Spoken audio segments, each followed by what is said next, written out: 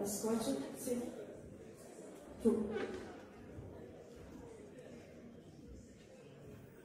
سؤال جاكوب فالسؤال هو كيف ينظر جاكوب للرقم القياسي العالمي لبحوثة البطل المغربي هشام الكروش هل هو سهل صعب مستحيل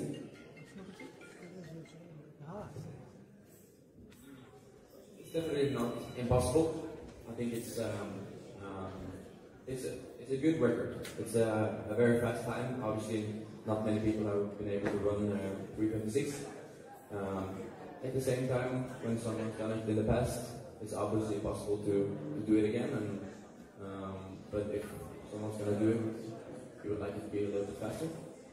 Um, but obviously, that's the, the, the goal of all runners is to try to go for the world record, uh, or at least see how close you can get.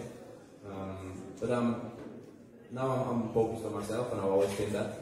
Uh, and if you beat the record, that's just a way of, uh, it's part of, you know, the way of getting where you want. And um, I'm just trying to improve as much as I can, and hopefully uh, run sub 326, uh, not 328 this year, uh, because then I'll improve my own time. And next year I'll try to run even faster, and so on. So um, I'm excited to see how far I can go.